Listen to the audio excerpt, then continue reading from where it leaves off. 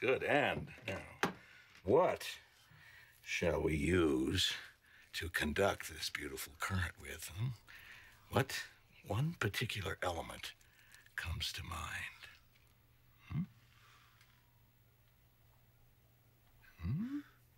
Uh, wire. Yeah, copper. Oh, I mean, it's copper.